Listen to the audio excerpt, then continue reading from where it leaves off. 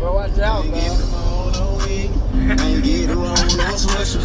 I was locked up on Christmas. Ain't get to see my niggas. I don't know what the fuck wrong with my man. But he not about to meddle me. Okay. Post on my Instagram, cause these pussy nigga be snitching. Everybody had the suspicious. Might probably say that